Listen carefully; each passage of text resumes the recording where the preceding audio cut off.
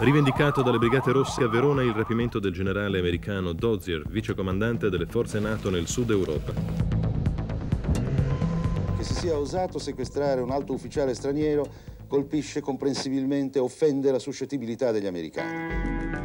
Il presidente americano ha detto che i rapitori non sono degli eroi, sono soltanto dei vili, dei codardi.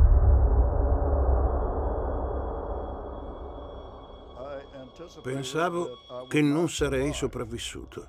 Non sapevo cosa avrebbero potuto farmi.